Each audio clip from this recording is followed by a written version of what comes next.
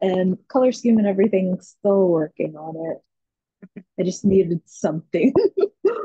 oh, uh, oh yeah, it's down here.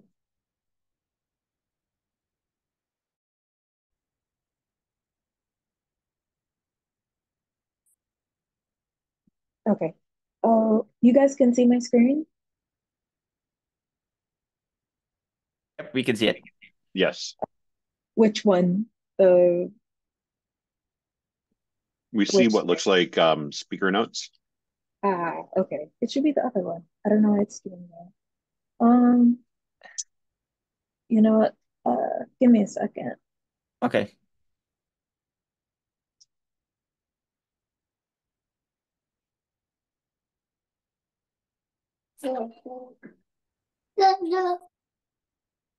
Okay.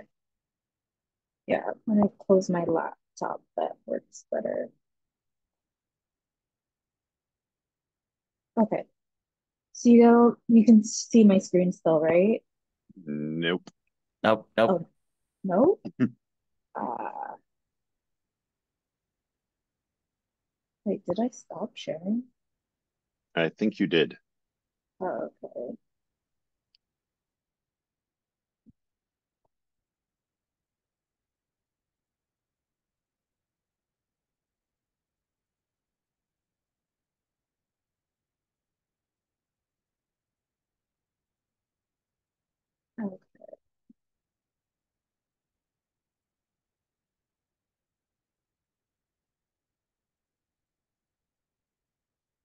Okay. Now let's see if that works. All right, now I think we see the correct thing. Okay. Okay. Now it's just the Cool. slides, so you're good. Yeah. Okay, cool. All right. So I'm here to discuss my Cascadia RConf talk. Um, it's going to be called Learning Together at the Data Science Learning Community.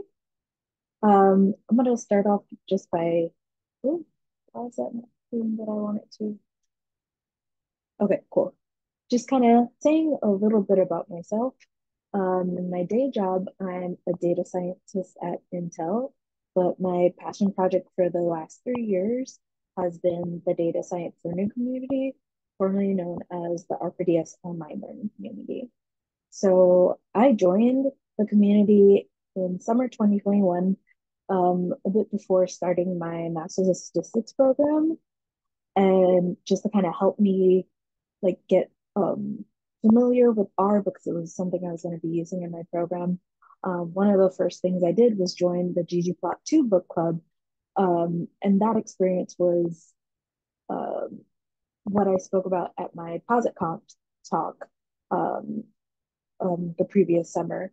Since then, I've facilitated two book clubs, also participated in other book clubs. I'm a community mentor, and also I was asked to be a board member um, this past September. So, one of the main things folks in the community already know us for is Tidy Tuesday. Um, so each week we have a curated data set that is put on our GitHub, and folks are able to download it and yeah, download it and participants over social media and in Slack, they'll share the data visualizations they made and the code they use to make those data visualizations. Um, at this time, we have over 600 curated data sets, which you could find by going to tidytues.day. um, okay, this one's a blank slide. I'm planning, I want to put pictures of people's visualizations. I have to look and see which ones to use. Um, but yeah, so there's so much more to the data science learning community than just Tidy Tuesday. So for the remainder of talk, that's what I'd like to talk to you all about. So our mission at Data Science Learning Community is to provide tools and resources to foster a diverse, friendly, and inclusive community of data science learners and practitioners. Um, when we, I should just talk about this more. I'll figure that out. Um, yeah. And some ways we do that are we have book clubs, um, we have book clubs, help channels, chat channels, and so much more. Um, I guess mentioning somehow segueing into the name change. Um, but yeah. Yeah. So we recently had our name change in this past April, and it was a fairly big change. And we just wanted to align our name to better represent our community. So when we were founded back in 2017, it was specifically to read the book R for Data Science. Um, and since then, we've grown tremendously, and the community, while still a majority R, we have expanded and we have learners that are learning Python, Julia, JavaScript, and so much more. Uh, and some of the ways we do that are with our book clubs. Okay. So in our book clubs, we'll our learners can read anything that's legally available online for free. Um, so that includes we've, of course, we read books, but we also have our we've also um, read documentation for packages um, I have to look into that, see what else we've read to be able to make Hmm. sure I cover all the bases. um, and we I do think- these in, yeah. Just online courses, I think is the only other thing. Okay, that's it. I should get a pen, paper and pen. Okay.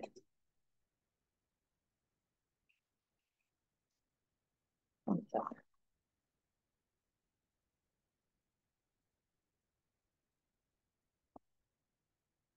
Online courses.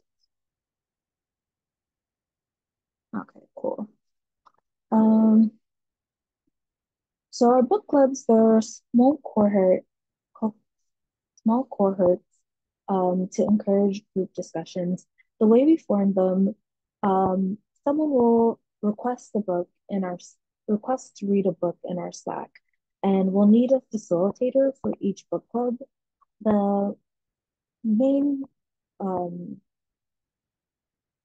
the main thing needed to be a facilitator is that you've at least um, engaged in one book club before.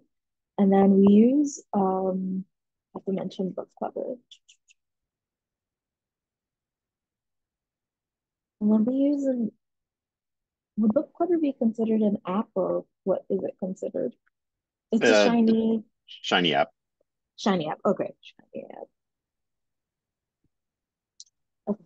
Then we use our book clubber shiny app to find a time that works for all of our learners um, to engage in our Zoom meetings, um, with the facilitator's time being prioritized. Um, and this allows us to have learners from across across the globe. Um, in the book clubs I've been in, I've had people who are in Europe and in Africa, and it's really cool to like engage with others, not necessarily just who's yeah, yeah, I'll figure out that. Um, and our meeting recordings are posted to uh, yeah, I'll work on this part. Let's see.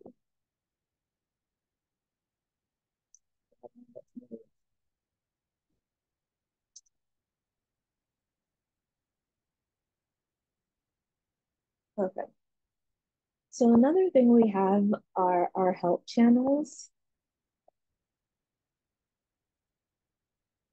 So in data science and community, it's okay not to know because that's why we're here to help. We have supportive community members and volunteer mentors that are in the chats helping to answer questions. We use a shiny dashboard called Mentor Dash to keep track of the unanswered questions. Um, you can learn more about it by checking out Jon Harmon, our executive director's talk at our RStudioConf 2020, Learning by Teaching. We also have chat channels, which are a great way to make connections with people in the community. Uh, yeah, very, very rough. I apologize. um, also, something we currently do and hope to expand on are posting um, job postings from people in our community um, to help connect our learners with uh, with jobs. Yeah. Chat channels. Oh, I that. And then one of my favorite parts of the Slack is the wins and feedback. I think one of the best things, one of my favorite parts is just us celebrating one another, our wins, or even, yeah, just, yeah, celebrating one another. I'll work on it. So yeah, um, so I hope I've answered any questions you may have about the data science learning community. Um, if you're interested in learning more, please join our Slack, DSL, dslc.io slash join. You can help answer questions, facilitate a book club, or contribute to our automation projects. I'll change up with Shiny Apps. And please connect with us over social media. You can find us on Mastodon, LinkedIn, and I'll add whatever other links later. And that's what I have for now. Yay. Yay. Thanks. Uh, one thing that I thought of at the end Yeah. there, uh, when you get to the conference, go to dslc.io on the conference Wi-Fi because at NYR, um, because the URL is relatively new, their firewall was blocking us. And it took about five minutes for me to submit a report saying that shouldn't be blocked, and it was unblocked. But I didn't do that until after my talk. And so some people tried to go to our site and got blocked. Um, Oh wait. Say so you'll again? so if you just like on your phone or on a laptop, just connect to the to the conference Wi-Fi and then go to dslc.io and I got a page that said, you know, this site is not on our trusted list. You can't go there. Oh, And I just had to click like on that page it said if if you think this is an error, click here and explain, you know, why it should be allowed. And Yeah. it it was really super painless to fix, but I didn't do it until after when someone said, "Hey, I can't go to your site." It's like, Okay, oh crap. So, um, and it's just because we're new. That Yeah. URL hasn't existed very long, and so some corporate things block it. Hmm. Um, and I didn't think about that being a possibility at the conference. So, um, okay. yeah, So once I hopefully- do that, it'll make it better for everyone, kind of thing? yes, Okay, yeah. 'cool. Okay, so I'll Um, give myself a reminder. yeah. It's a a new thing that i've discovered like you know as as we do two or three of those that's probably enough to get it cleared. Yeah. for, for just about everything. Um but yeah that was a big uh surprise and shock. It's like oh no. Um so that's something yeah definitely you know at, at cascade cascadia and then i'll have to get someone to do it in salzburg for useR Yeah. just check, make sure it works. And then obviously for Posit, I'll do that as soon as I can. Yeah. Yeah. So actually, let me share again, see if any spots you all have suggestions for. Uh, share desktop again.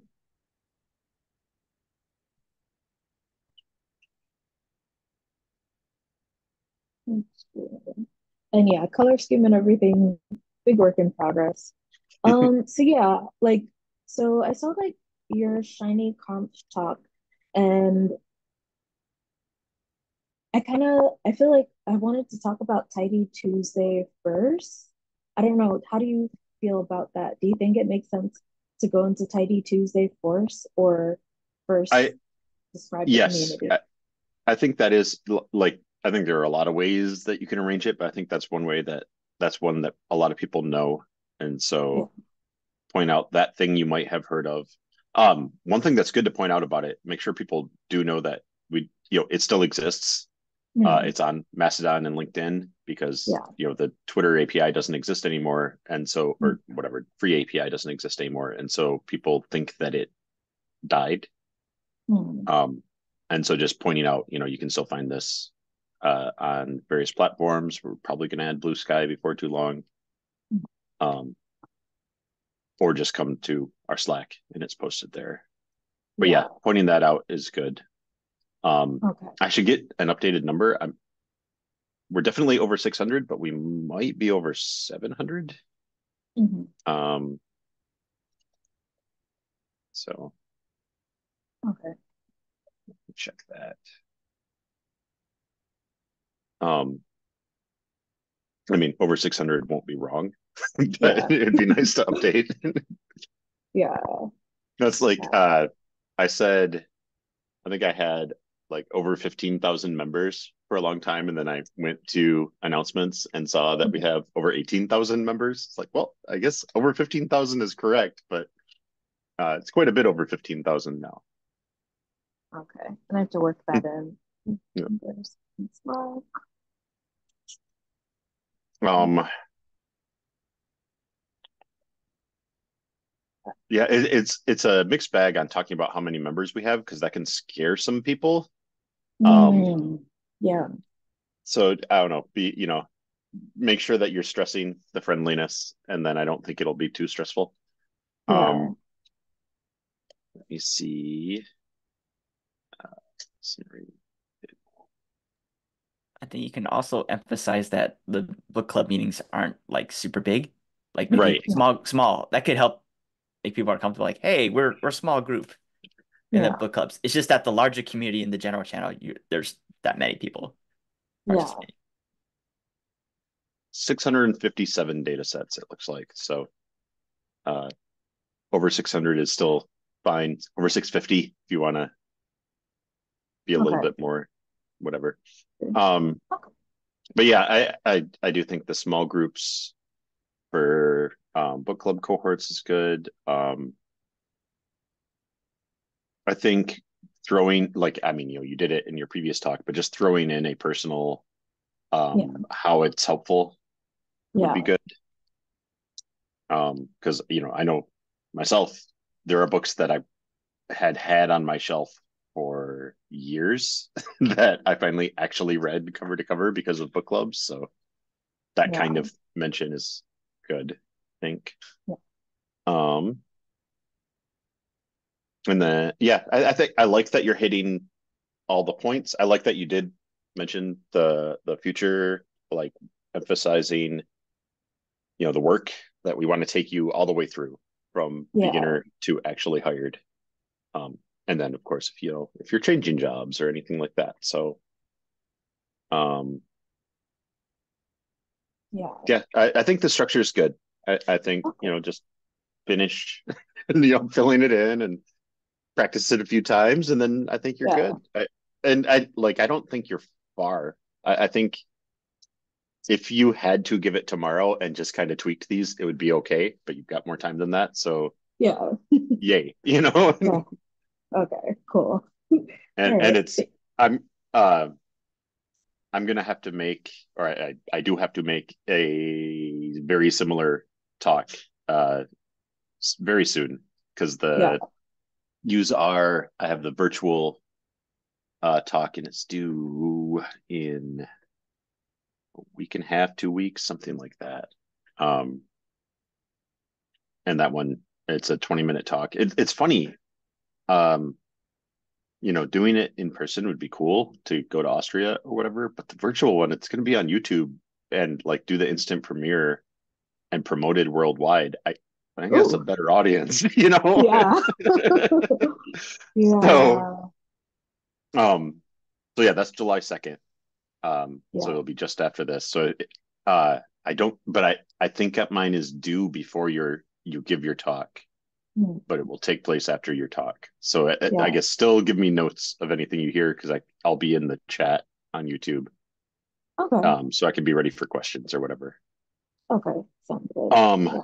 but yeah, it, uh, um, for the last slide, I, I'm tempted to not give them the slash join because we have the slash Mhm. join on the site, but get them to go to the main site. Okay. Um, I don't know. I, I go back and forth on that thought. Uh, because getting them into the Slack right away is great, but um, I don't know. It, it's it's more evergreen. You know, what if we have to leave Slack someday? Yeah. Um, and someone's watching a video of this, the DSLC.io would still work. Actually, slash join would probably still work, but it wouldn't be going to Slack. Um, uh, yeah, that's that's the main thing, and yeah, the connections could change. Oh, on the videos, I do have DSLC.video now, or you can point them to the playlist that way. Um, oh wait, let me try Yeah. that. I've never tried that. What video? Yep.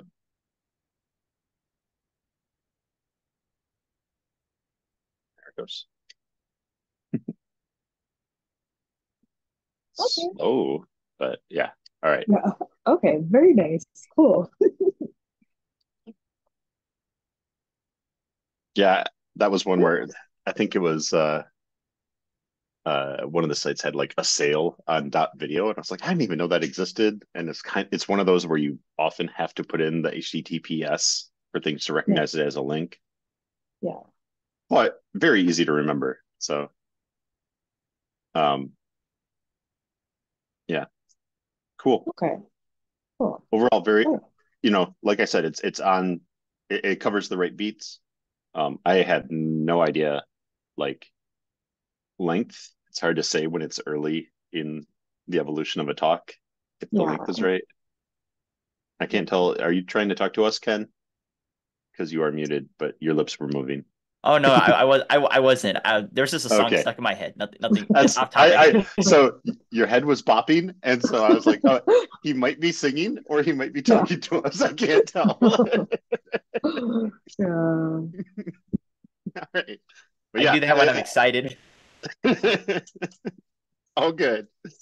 Yeah. Okay.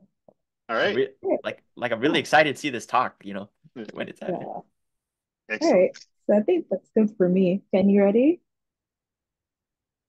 All right, yeah. I, I'm I'm down for it. So let me start sharing. Okay. Woohoo. Uh, can you see my screen? Yes. Okay, that's good. So right, I'll, I'll start. So hi everyone. Um, this is a talk that I'm going to be giving for the Arc Cascadia conference, which is going to happen in June 22nd, uh, 2024 in Seattle, Washington. Um, to start off, I'll introduce myself briefly. So my name is Ken, and I'll be doing a talk on drawing a Christmas card with the ggplot2 package. Before I start off, I want to give a quick introduction about myself. Um, I got my master's degree in statistics last year in 2023, and a lot of the work in the background and the work I do now in the past involves helping to build and maintain data-driven cultures at different nonprofits and public institutions, ranging from things like conservation corps to even working in administration for, say, colleges, for example. And I also have a math background. I got my undergrad degree in math, where I learned a lot about systems and designing step-by-step solutions to, you know, everyday um, problems using um, math as sort of like the base. So that's kind of where I'm coming from with my background.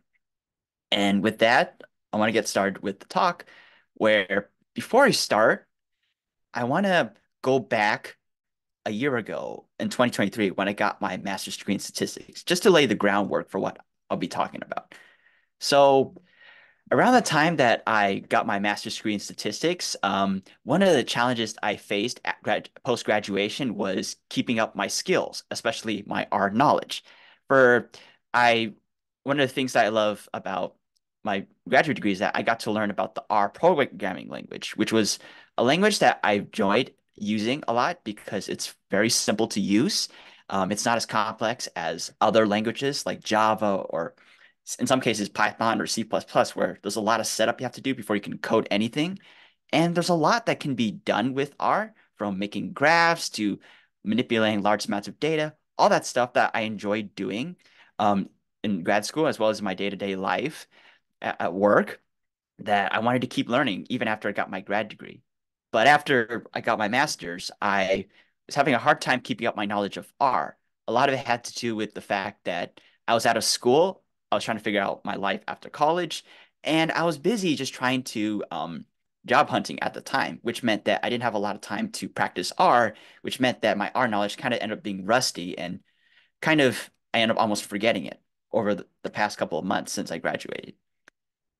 Yet, despite that, I'm someone who likes to have fun for the holidays. For one of the things I really love about the holidays is just being able to spend time with folks during the Christmas season, whether it's with friends or family, or I like to, you know, this like the spirit of giving, like giving presents to people, you know, making hot chocolate for people and eating things like gingerbread cookies and all that stuff. And all the beautiful decorations people put out outside their homes sometimes for the holidays. All of it just speaks to that sense of joy that I really love about the holidays.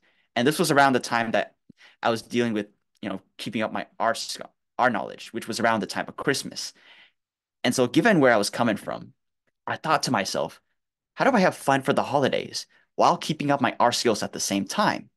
And that was a question I started thinking about as I was going through the rest of 2023. And that question ended up, you know, being stuck with me for a while until I recently, recently around the end of 2023, came across some examples of artistry online, which is which are which is when folks use R code to draw art with it such as the examples that you're seeing here on screen. And just seeing examples like that got me really inspired to think about, okay, what if I could draw something Christmas related using R code for the holidays?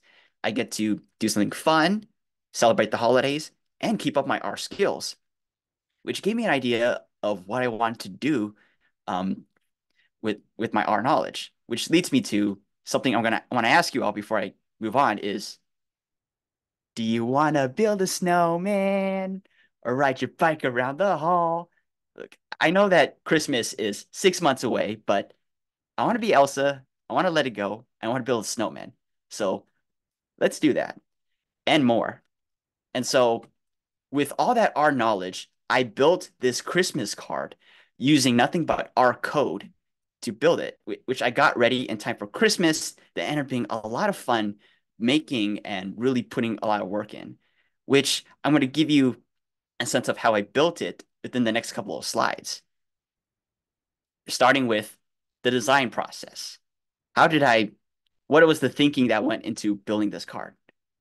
Which starts with the first part, sketching it. One of the things that I like to do before I do on a project like this is I like to draw a sketch, like a rough draft of what I wanted on my on this project before I start coding right away because it helps to get an idea of whether or not my ideas are realistic, helps to see where um, see what it might look like so I can get a clear sense of what am I trying to build. All these things to help me to stay focused. So here in this case, I knew I wanted to build a Christmas car, but then there comes the question, what is going to be on the Christmas card? So here I drew a rough sketch of a Christmas tree, some decorations on it, and a snowman all of which gave me a rough idea of what I wanted on this Christmas card, which then ended up informing what is ends up actually being on it. And um, and you see, you can see here, um, there are some measurements here where I specified how wide I want the Christmas tree to be, tree to be and how tall it's going to be, as well as some coordinates here. A lot of which ties to my math background, where I love being organized with how I I manage my workflow, having being precise about where things are, and this I'll explain later on, but just know that, you know, I'm very methodical with how I do things. And having a sketch like this helps me to kind of imagine what the outcome's going to look like so I can focus my energy a little bit more on how to how to get there. So I have the sketch. Next comes what do I use to build this card?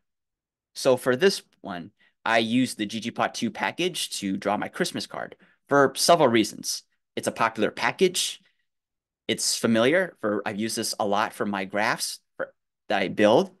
And it's super customizable for there's a lot of things that you can plot with this package from scatter plots to bar charts or even just um, even draw shapes with it. And all these little things you can customize like the color, size, or shape of points, all of which makes ggplot 2 excellent for a complicated project like this. And there's also other packages I've used to build this card, such as extrafont. So I can load in some custom fonts that can use for any text that I write on the card, such as that Happy Holidays um, greeting that I showed you earlier on the card, which was which was created with a custom font that I loaded in. And there's also the package dplyr to make it easier for me to manipulate and move around large amounts of data. Not necessary, but it makes things a lot faster, especially with a project of this level of complexity. And here's the code chunk that I used to load in those three libraries I mentioned, ggplot2, extrafont, and dplyr. All right, now that I have everything set up, I have a sketch I want to create and the tools that I picked to build this card, then comes actually plotting this card. But before I get into it, I want to go over quickly about this concept of the grammar of graphics, which is very important in terms of how ggplot2 works when it comes to plotting things. So as a general overview, the grammar of graphics, you can think of it as sort of a way of thinking when it comes to how to build graphs and how to visualize them. A way to organize and prepare your data so that way it can be visualized and rather. So think of it as a mix of systems and rules and generally how you should think about things when it comes to plotting. And this grammar of graphics usually has three parts to it. The data, which is what information that you want to show on the graph, which is the most important part. As without data, there's there's no graph. And then there's also the aesthetic mapping, which is, okay, now you have your data, where in the graph that you want to put it. It's like arranging furniture. You, you say, I want a couch, but where in the room do you want to put the couch? So you can think of aesthetic mapping as a, a way to basically tell the tool that you're going to use to graph things, where do you want it specifically? Do you want it along the edges of the graph? Do you want it inside the graph? And so aesthetic mapping is a way to figure that out. And then there's geometries, which is how do you want your data to be shown? How do you want it to be represented? Do you want it to be a scatter plot, a box plot, or bar chart? All these things that help determine how it will look in the end. And so these three elements, the data, aesthetic mapping, and geometries are three essential ingredients that make up the grammar of graphics or the theory as to how you would approach graphing. Additionally, um, it comes to plotting, in this case using with ggplot2, one thing's important to know is that ggplot2 plots things on a coordinate system where there's an x-axis at the bottom, which goes from left to right horizontally, which tells you where an object or a point is um, uh, horizontally. And then it has a y-axis where it tells you where objects are vertically, going up or down. And this is a way, it works like a GPS, a way to tell where objects are, a way to easily find them using this system. And when it comes to plotting, um, ggplot2 typically plots things in forms of points, which are typically thought of in the format of xy, with x telling you where is it along the x-axis, and then the y, the, the second number in the parentheses, being where it is vertically on the y-axis. So for example, the point negative 1, negative 1 on the bottom left here on this graph means that along x, you go to negative 1, and then the, the second number, negative 1, you go up the y-axis to find negative 1, and then you follow the grid lines to connect where those two intersect, and that's how points are plotted in ggplot2. And with that, that's a, a little bit of the groundwork of how ggplot2 plots things and how it all works under the surface, which takes me to the fun part, which relates, or actually before I get into that, um, because of the coordinate system, it's here. That's why going back to the sketch, there's all these coordinates here because that's how ggplot2 plots things. It needs a system to figure out where to put things. And so using the measurements of how big or how wide I want parts of the Christmas tree is, for example, I use that to build a set of points, coordinates, with an X and a Y, so that way I know where things are going to be located. And while not perfect, it helps to tell ggplot2 where I want things. That way it gets the dimensions right and how big or how tall the objects are going to be. And now with a lot of that groundwork set up, then comes the fun part, plotting a ggplot2. So as a base example, I'm going to focus primarily on drawing the, the top of the Christmas tree, or like this upper part, the green part of the Christmas tree, without the decorations, as it is a lot of code to build this card, which is a lot to cover within 15 minutes, but I'm going to sort of focus more on that that part just so I can show you all like the thinking, general thinking that went to building it. So with that, let's start with the first step it comes to plotting. So the first step when it comes to plotting in ggplot2 is to pick a ggplot2 function to draw what you want. As there's a ton of functions out there. There's geom_point on the left for scatter plots, where you want if you want to plot a bunch of dots, you have that option.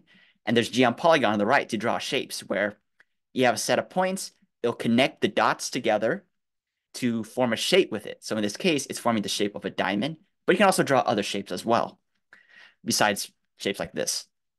And so given that I want to draw a Christmas tree, which isn't like a normal conventional shape, like a circle or square, I, I picked geom_polygon, this, this function shown on the right as an example.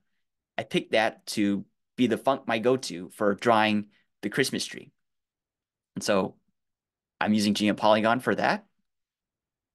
And then next, I took, you may recall the, the points that I put on my sketch.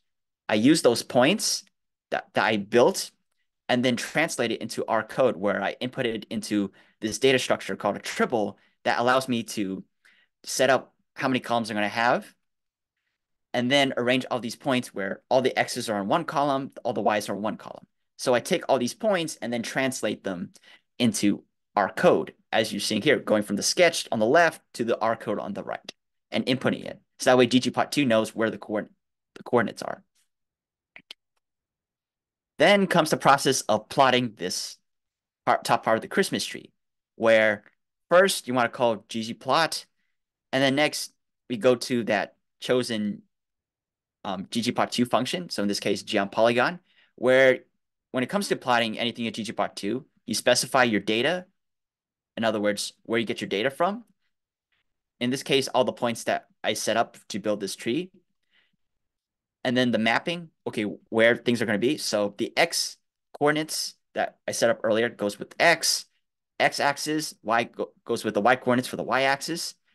And then lastly, at the bottom here, there's an extra argument where you can change different aesthetics. So in this case, I made the inside of the Christmas tree green using the fill argument. And there certainly are other arguments, but those are examples of the amount of customization that you can do with ggplot2, which putting it all together gets you this top part of the Christmas tree without the decoration, all that. And while this is a small example compared to the, all the other things I did with the card, this is an example of the general set of steps I followed with all the parts of this Christmas card right here, which was built using similar steps as I did with the tree, just that with different functions and different points, all of which putting it all together helped to build all these elements on the on this card here, from the tree to the ornaments, to the sashes wrapped in the tree, the star at the top, the snow on the ground, the snow that's falling, and the snowman as, as well. All of which took me three days to prepare, debug, and ultimately think about to achieve this card, which, by the way, could have been done a lot faster in a drawing app like Microsoft Paint, but I did it anyway for it really helped me to practice my knowledge of art and, and keep it preserved challenge myself, and ultimately have something fun for the holidays on top of three things that I surprisingly did not expect I would learn from this entire process, which takes me to this conclusion. What are three things that I took from this whole project?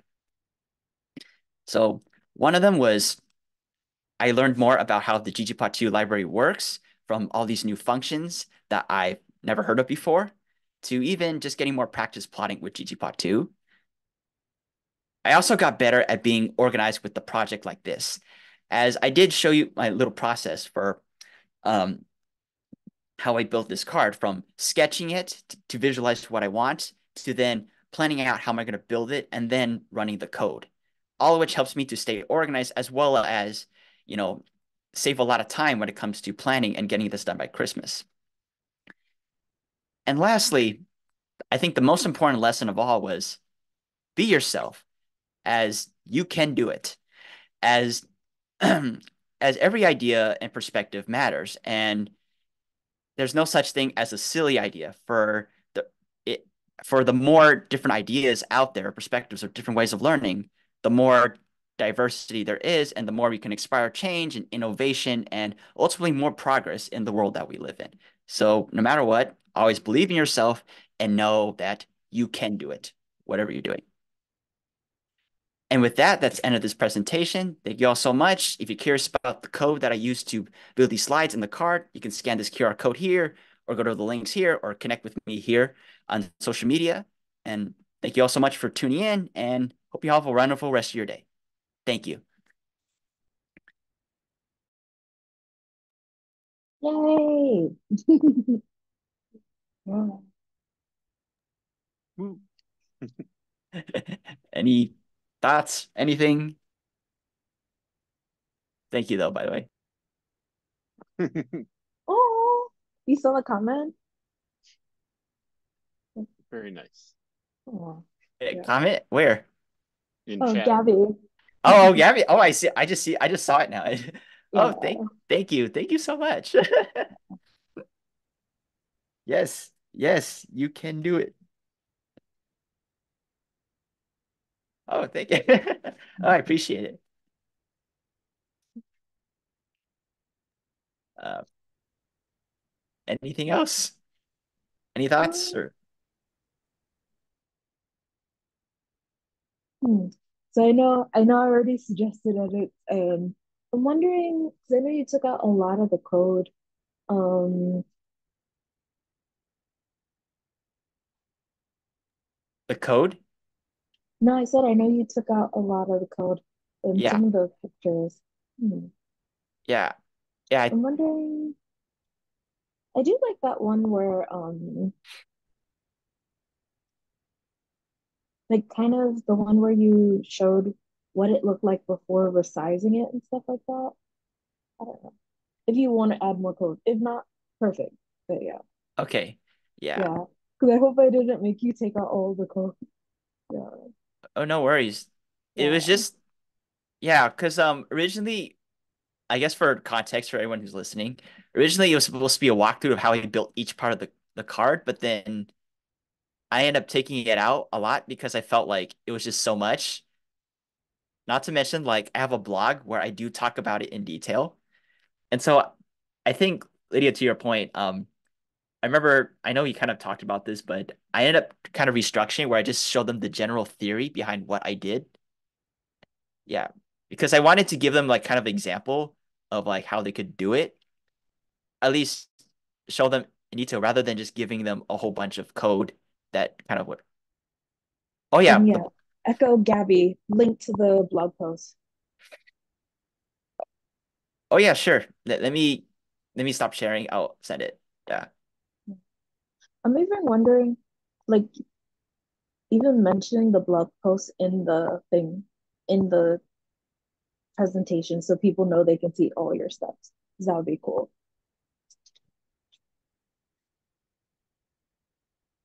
Oh Oh, yeah, that that'd be Oh, cool. there you yeah. Oh, you can hear me? Yeah, I Yeah. do have the blog post. If anything, I can put that in my um Linktree. Just be like, hey, you want to read up more how exactly I built it? Here's the code. Yeah. Uh, link to yeah, because I was trying to because I realized that you know if I gave like a how to do it, then it might be too overwhelming. So I just gave him okay, th let's plot this little this this one part. Yeah. Oh yes, yeah, good idea. Yeah, thanks, Gabby. Yeah. But yeah, so overall, I feel like I'm I'm pretty good with this structure where like just show like a tiny example of why apply because it's a essentially what I built used to build the car was a lot of repetition. Just the same set of steps, but with different functions and different points. Yeah. Overall, it seems like it's it's working pretty out well. Yeah. Very cool. Because yeah, I had no idea how the code from before translated into the tree. So now seeing them side by side, I'm like, oh, okay, that's that's how it works. So yeah, I really like that you're explicitly showed that part, like the tree itself next to the code. I really like that. Yeah. Oh, definitely. And and yeah, and thanks though. Like I learned from the best.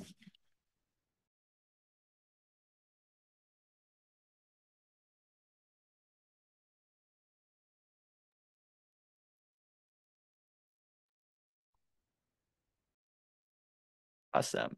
Okay, I think that's it, unless anyone has something for you. Otherwise, I can return the floor. I think that's it for me. Thank you very much. And yeah, it looks great. Looking forward to hearing it at Cascadia.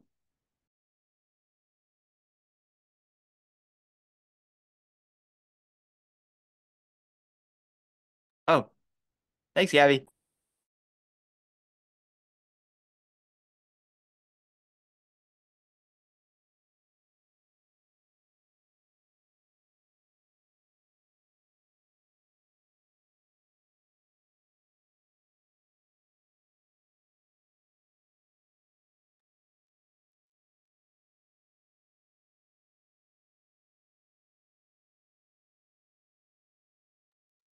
I think right. we're good. I think we're good, Jon.